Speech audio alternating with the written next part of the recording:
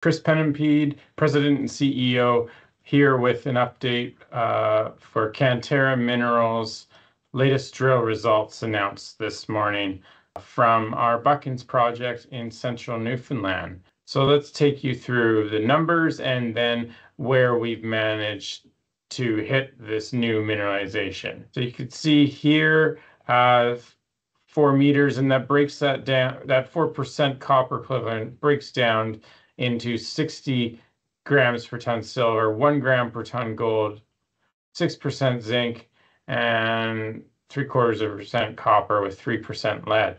So what we're seeing most critically here is there's a lot of precious metal grades at this new target, which we're calling Pump House. In another hole, there's 6% copper equivalent over 2 meters. And again, you're seeing great precious metals grades with Uh, 80 grams silver and almost 1 gram per ton gold. So let's show you where these drill results are in context to um, our Buchans Project in central Newfoundland, adjacent to Equinox Gold Valentine Mine.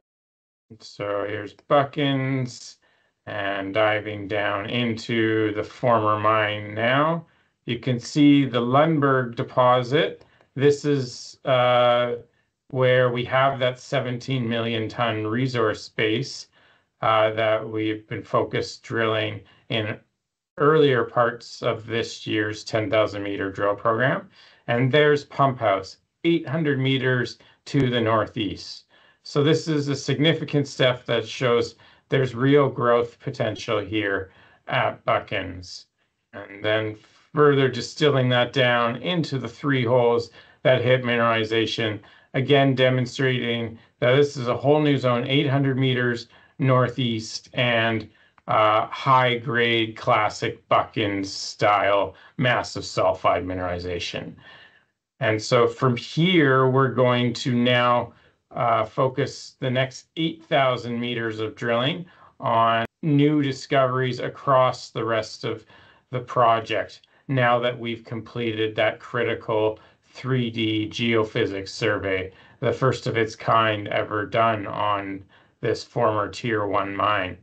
And so the next drilling will really be focused way outside the mine trend, focused on a brand new discovery, which we believe uh, that this former mine can deliver.